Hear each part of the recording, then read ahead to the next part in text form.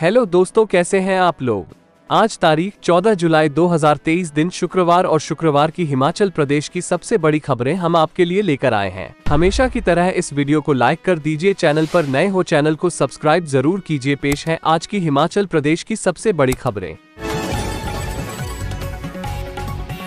बड़ी खबर 35 एक्स के पद खाली। कैसे चलेगा विभाग का काम? प्रदेश भर में भारी बारिश के चलते काफ़ी नुकसान हो रहा है। सबसे बड़ी बात यह है कि जिस विभाग के पास सड़कों को बहाल करने का जिम्मा है, उस विभाग में ही इस समय प्रदेश भर में कई जगहों पर अधिशासी अभियंता के पद खाली पड़े हैं। एक्स के पद हो खाली पड़े हैं। तो ऐसे में लोगों को सड़कों की बहाली में कैसे राहत मिल पाएगी? जबकि इस समय प्रदेश भर में काफ़ी संख्या में सड़कें बंद हो गई हैं। भर में काफ़ी एक्स के पद खाली होने से इन सड़कों की बहाली में फंड कैसे उपलब्ध होगा? सूत्रों की माने तो हिमाचल प्रदेश में इस समय करीब 35 एक्स के पद खाली पड़े हैं। बड़ी खबर, भारतीय वायुसेना में अग्निवीर बनने को 17 तक करें अप्लाई। भारतीय वायुसेना में अग्निवीरों, अग्निवीर वायु की नई भर्ती, शून्य एक दो का नोटिफिकेशन जारी कर दिया गया है। इस भर्ती की ऑनलाइन आवेदन की प्रक्रिया 27 जुलाई से शुरू होगी। इच्छुक व योग्य उम्मीदवार आधिकारिक वेबसाइट पर जाकर 17 अगस्त 2023 तक आवेदन कर सकेंगे। ऑनलाइन लिखित परीक्षा 13 अक्टूबर 2023 से शुरू होगी।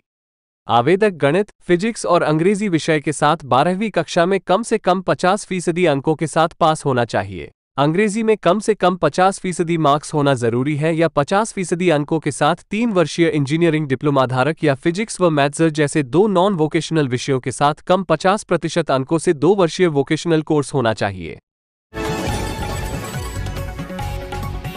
अगली बड़ी खबर, ज़ीरो एडमिशन वाले 117 स्कूल बंद। तीन मई तक की एनरोलमेंट के आधार पर हिमाचल सरकार ने लिया सख्त फैसला। शिक्षा के क्षेत्र में सुधारों की प्रक्रिया को आगे बढ़ाते हुए सुखविंदर सिंह सुक्खू सरकार ने एक बड़ा फैसला लिया है। राज्य सरकार ने बुधवार को एक अधिसूचना जारी कर ज़ीरो एडमिशन वाले 117 सरकारी स्कूलों को बंद कर दिया।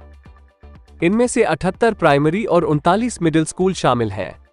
शिक्षा मंत्री रोहित ठाकुर ने बताया कि 3 जून 2023 को इन स्कूलों में एडमिशन की स्थिति के आधार पर यह निर्णय लिया गया है। इसके बाद अब दो बच्चों से कम एडमिशन वाले स्कूलों पर सरकार फैसला लेगी। इन्हें अन्य स्कूलों में मर्ज किया जाएगा। बड़ी खबर, हिमाचल के स्कूलों में फिर आएगा सेमेस्टर सिस्टम। राष्ट्रीय शिक्षा नीति को देश भर के स्कूलों में लागू करने के लिए केंद्रीय शिक्षा विभाग की ओर से लगातार दबाव बन रहा है। आने वाले समय में एनसीईआरटी के सिलेबस को भी वार्षिक के बजाय सेमेस्टर सिस्टम के आधार पर तैयार किया जा रहा है। इसके लिए हिमाचल सहित देश भर के सभी राज्यों के उच्च शिक्षा अधिकारियों को भी राष्ट्रीय शिक्षा नीति के तहत आने वाले बदलाव शुरू करने के लिए तैयार किया जा रहा है। अस्सी के दशक का एक और सिस्टम पुनः शुरू करने की तैयारी है। नए प्लान के तहत नौवीं से जमा दो तक की कक्षाओं में सेमेस्टर सिस्टम से परीक्षाएँ करवाने के अलावा छात्रों को वर्ष भर चलने वाली गतिविधियों के आधार पर नंबर देने की योजना बनाई गई है। एनईपी में पढ़ाई करवाने के साथ साथ वार्षिक परीक्षाओं के आधार पर मूल्यांकन करने के बजाय ओवरऑल डेवलपमेंट को आधार बनाया गया है। इसमें नौवीं कक्षा की परफॉर्मेंस व नंबरों को दसवीं के परीक्षा परिणाम में जोड़ने का प्लान है। इसी तरह जमा एक के छात्रों की परफॉर्मेंस व नंबरों को जमा दो के परिणाम में जोड़ने की योजना पर काम चल रहा है। इसके लिए देश भर के राज्यों के उच्च शिक्षा अधिकारियों एवं शिक्षा बोर्डों को नए प्लान की जानकारी विभिन्न सेमिनारों से भी मुहैया करवाई जा रही है। बड़ी खबर हम साथ हैं, बोल देने से काम नहीं चलेगा। मदद करनी होगी। केंद्र सरकार को डिप्टी सीएम मुकेश अग्निहोत्री की नसीहत। हिमाचल प्रदेश के उप मुख्यमंत्री मुकेश अग्निहोत्री ने आपदा के समय भाजपा नेताओं पर तंज कसते हुए कहा कि सिर्फ़ ये बोलने से कि हम प्रदेश के साथ हैं, से काम नहीं चलेगा। इससे एक्शन में लाना होगा। तभी हिमाचल की मदद हो सकती है। वो बुधवार को कुल्लू के परिधि गृह में पत्रकारों से बातचीत कर रहे थे। उन्होंने कहा कि पहले ही हिमाचल प्रदेश पचहत्तर हज़ार करोड़ के कर्ज तले है और इस आपदा से प्रदेश की और ज़्यादा हालत खराब हुई है।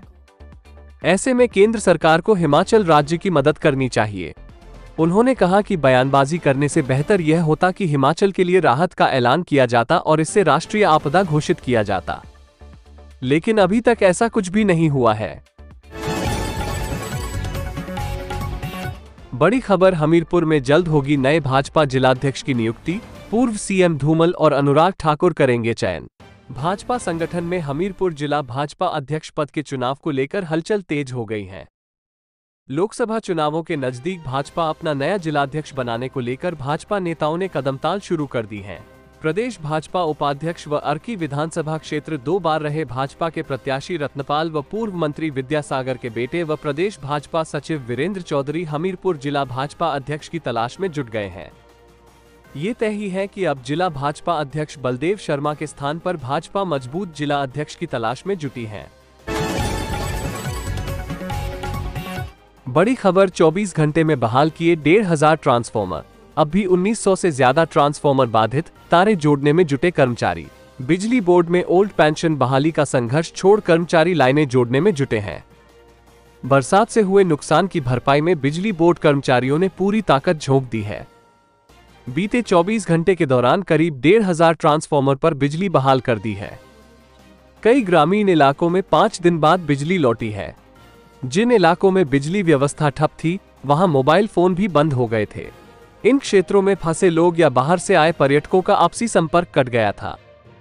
हालाँकि कुल्लू में अभी भी ज़्यादातर इलाके अलग थलग पड़े हैं। यहाँ बिजली पूरी तरह बहाल नहीं हो पा रही है। जबकि अन्य इलाकों की बात करें तो मंडी में सबसे ज़्यादा छह ट्रांसफॉर्मर बहाल हुए हैं। जबकि शिमला में 441, किन्नौर में 133 और सिरमौर में 119 ट्रांसफॉर्मर में दोबारा बिजली लौट आई है। यहाँ ग्रामीण इलाकों में लोगों ने राहत की सांस ली है।